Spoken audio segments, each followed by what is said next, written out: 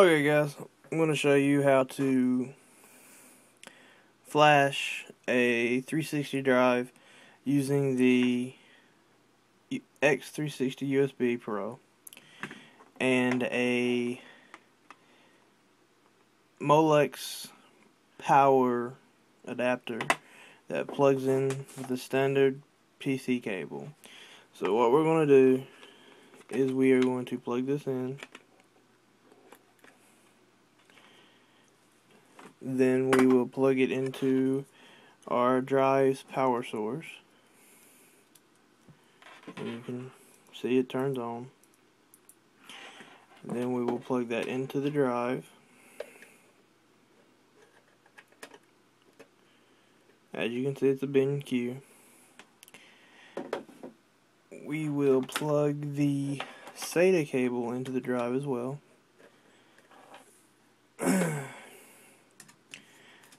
we will come over here and plug the SATA cable into the X360 USB Pro.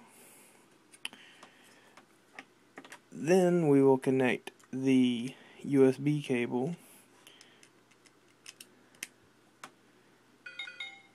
You'll hear it activate on the computer. We're just going to leave that setting right there. Let me see if I can turn it a little bit.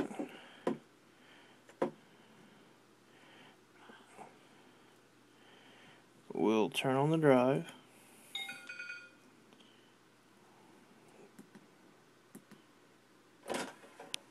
Drive opened. There we go. And then we will come to the computer. Okay, we're going to open Jungle Flasher. Uh, I don't have the COM port installed, so I'm just going to say that.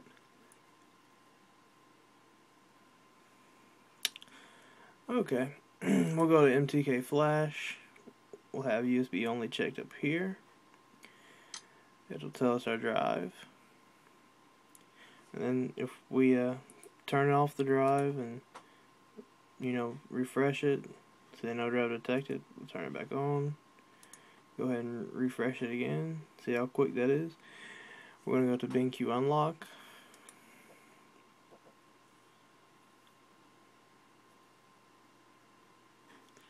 Then we are going to read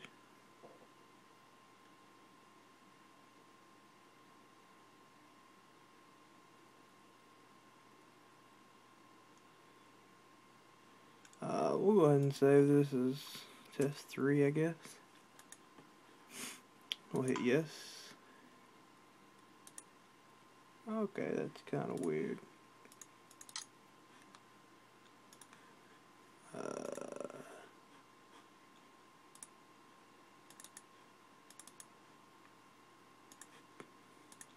There it is. Let's source to target. Save to file.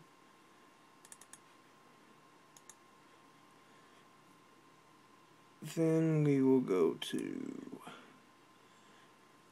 MTK Flash. Click right.